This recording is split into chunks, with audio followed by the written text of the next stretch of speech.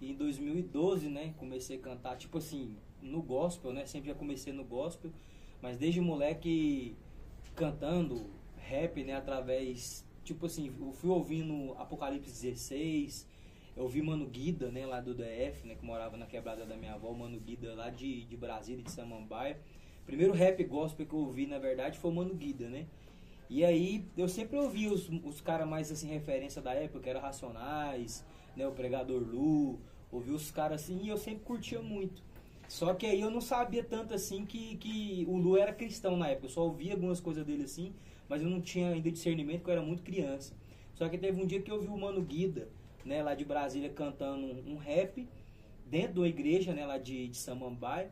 E eu falei, que negócio que é esse? Esses crentes tá louco, né, velho? Cantando rap, que bagulho doido é esse? E aí eu entrei dentro da igreja, quando eu ouvi, né, a, a, a batida, o cara pregava a Bíblia em cima da batida. E aquilo me chamou a atenção. Foi o primeiro contato, assim, real que eu tive, que, que eu tive, assim, com o rap gospel, né? Que eu conheci um rapper de verdade na minha frente, foi o Mano Guida.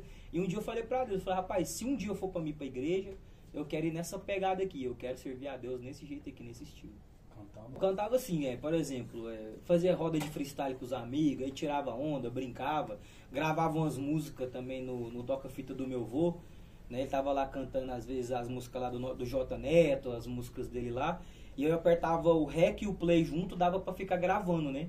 E eu gravava os rap ali, entendeu? Anotava, só para me ouvir como é que ficava a minha voz, para ver como é que era. E aí sempre foi nessa pegada, entendeu? Mas gospel, a primeira vez que eu fui cantar mesmo, gravar mesmo, primeira música foi História do Dia Capeta, depois Verdadeiro Adorador. Né? Já foi tipo assim, músicas Léo Tancredo, moleque firmeza demais, o Danilo também, Homens de Deus. E aí a gente começou com esse projeto do, do DDL, né? Primeira vez que a gente cantou junto foi numa casa de recuperação, né? Trabalho no qual até hoje eu faço parte, né? Já fazem mais de 12 anos que eu vou em casa de recuperação, presídios, né?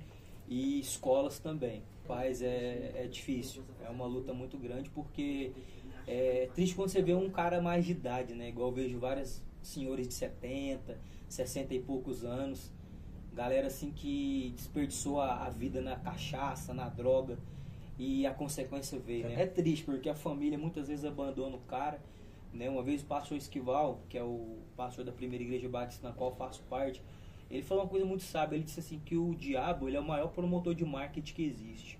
Né? E eu não entendi, porque na época eu trampava de promotor de marketing, falei, você me chamou atenção, que, que bagulho doido, por que, que você fala? Ele falou assim, porque o diabo só mostra a balada, a galera curtindo, a parte boa, a, galera descendo até o chão, o esquisada, curtição. Mas os bastidores ele não mostra. Ele não mostra o cara chapado Isso é batendo é na mulher. Exatamente. Ele não mostra, entendeu? A traição, a adultério gerada por causa disso. Ele não mostra o cara vendendo as coisas da mãe para poder usar, fumar pedra. Ele não mostra. Então o que a gente vê é uma ilusão. No dia que ele falou isso pra mim e eu comecei a fazer né, um, um, paralelo assim com, com a casa de recuperação, né, que a gente são várias casas de recuperação no Brasil que a gente faz, né? E mais umas que eu fui agora inclusive numa segunda-feira agora que tinham vários senhores. E me chamou a atenção os velhinhos de 70 anos, 65. Começou e eu, desse jeito, no, brincando ou no baseadozinho. No baseadozinho, curtindo, né, e tal. E hoje estão lá abandonados pela família né? Infelizmente, se, se voltar para casa, a família joga para rua, né? E é triste, cara. É, é triste a realidade, né? Dessa Fui vida. Em algumas casas de recuperação vital. Se achar, né, um rumo, né, mano? Porque você vê a diferença da pessoa que serve a Deus e que não serve. Meu pastor tá com 57, eu acho, 56, se eu não me engano. E encontrou amigos dele da infância, né? Que, que jogava bola com ele, que conhecia que na época ele até citou um exemplo lá de um cara que ele era metido intelectual porque ele fumava, né, Brau, e ele achava que ele era o cara. Ele ia conversar com, com ele, meu pastor na época, ó, oh, cara, isso não é legal não, cuidado. E ele ia lá e era muito arrogante, não ouvia, né, os conselhos do pastor. E aí esse dia para trás eu vi os dois juntos, né, e o pastor me falou é, da história. É, notória a diferença. Rapaz, é sério, o negócio é sério. A gente fala que não, que não vicia, é a pessoa tudo que você aprende novo você pode ver que você aprende é, tudo que você tudo que você aprende que é novo é, é criado uma nova trilha neural no seu cérebro ou seja uma, uma nova maneira de você se comportar então quando você entra para o mundo da droga você começa a criar uma trilha neural vai virar aquilo ali vai virar uma rotina na sua vida E aí o problema não é ter rotina, né, cara? É qual que é a rotina que você tem. Se é uma rotina boa ou uma casa de casa recuperação, de recuperação. eu acho que esses velhinhos abandonados é a mais triste. Porque assim, quando você vê a molecada, você ainda tem aquela esperança, esperança. sabe? Tipo assim, mano, sai fora. Igual a gente vê pessoas é, que saem da casa de recuperação, vão para a primeira igreja batista, estão frequentando lá com a gente, ou os que não estão aqui, estão em Brasília, estão em São Paulo, estão em outros, outras regiões, né? Porque as casas de recuperação não são só pessoas de Caldas, do Goiás, é do Brasil todo. E a gente fica muito feliz quando recebe um WhatsApp dos caras, ó, mano, é nós, mano, seu rap me ajudou, me fortaleceu. Eu lembro daquela visita lá que você pagou pra nós aqui, me fortaleceu demais, mano, me deu esperança, tô escrevendo umas letras também.